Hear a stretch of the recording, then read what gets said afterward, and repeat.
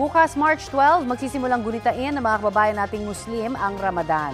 Sa anunsyo ng Bangsamoro Darul Ifta, hindi kasi nakita ang buwan kagabi. Ang moon sighting ang hudyat ng pagsisimula ng Ramadan. Nakahanda na po ang Golden Mosque sa Quiapo, Maynila at ilang pang moske sa bansa sa pagunita sa Ramadan. Itinuturing na holy month ng mga Muslim ang Ramadan, ang ikasyam na buwan sa Islamic calendar kung kailan sila nag-aayuno at nagdarasal. Si Pangulong Bongbong Marcos nagpaabot ng mensahe ng pakikiisa sa Ramadan.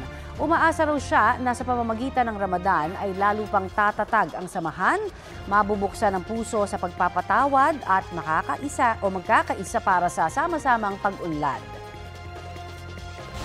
Kapuso, para sa mga maiinit na balita, mag-subscribe sa GMA Integrated News sa YouTube. Sa mga kapuso naman abroad, subaybayan nyo kami sa GMA Pinoy TV at sa www.gmanews.tv.